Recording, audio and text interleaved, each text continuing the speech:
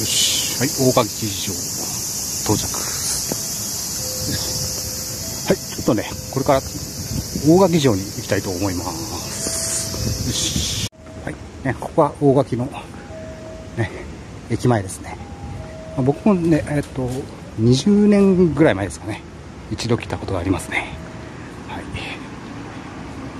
はい、とい。うことでね、大垣城に到着です。ねまあ、こんな感じですね。一応、西軍の、関ヶ原の、西軍の前線基地ですね。ね、大関ヶ原。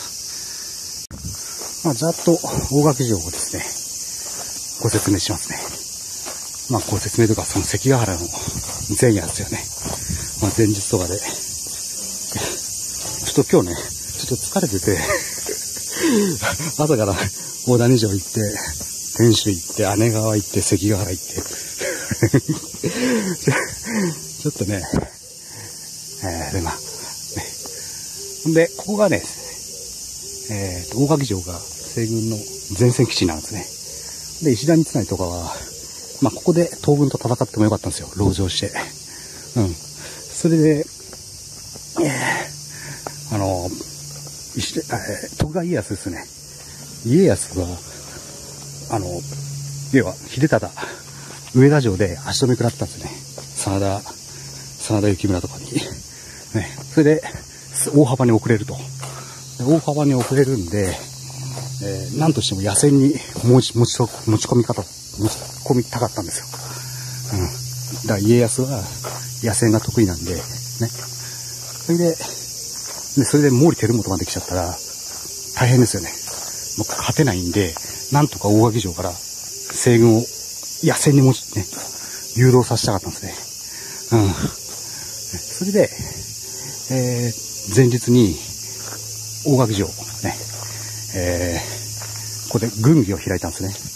石田三成とか、小西行長、島津義弘とか、そういう浮田秀家とかとですね。それで、ね、島津義弘が、要は、東軍は、まあ、疲れてると、長旅で。そこを野襲かけろと、奇襲。でも、石田三成は、ね、それをね、許可しなかったんですね。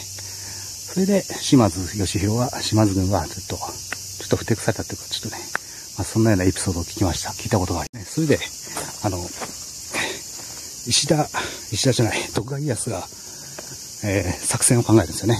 なんとか野戦に持ち込むために。えーその作戦は、えっ、と、家康は嘘の情報を流すんです。えっ、と、石田三成のお父さんが守ってる、その沢屋山城ですね。そこに攻めるぞと。そこを落城させた後に、次に大阪城に攻め入ると。ね、そういう情報を流してますね。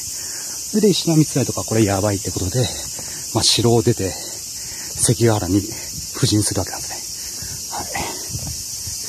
それで、まあ、まんまと、石田三成は、その作戦に、誘導作戦に乗ってしまうわけなんですね。あれ、これ井戸かな？ちょっと井戸見てみましょう。よいしょ。よいしょ、よいしょ。ねよいしょ。あれ井戸じゃないのかなんだこれ。ちょっとわかんないんですね。うん、こんな感じですね。よいしょ。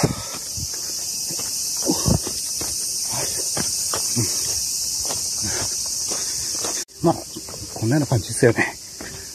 うん。でも、あの戦いは、小早川秀明が裏切らなければ、ね、まあ、西軍優位に進めたし、南宮山にいた兵隊たちも、吉川広い、広い、広い家以外は全員やる気があったんで、うん。ね、勝てたと思いますよ、西軍。あ、武将がいる。だから、ね、あ、戸田か。戸田市ですよね、これ。ね。よいしょ。よし。こんな感じですかね。うん。もし西軍が勝ってればね、日本の首都も多分おそらく、まあ、京都か大阪、おそらく大阪になってたでしょう。なったと思います。ね、おお。ね、こんな感じですね。よいしょ。はい。こんな感じ。まあ、駅からね、歩いて、5分、10分、10分ぐらいかな。うん。なんで、全然、皆さん、どんどん来てください。えー、よいしょ。ということで、大垣城でした。どうもありがとうございました。またお会いしましょう。さよなら。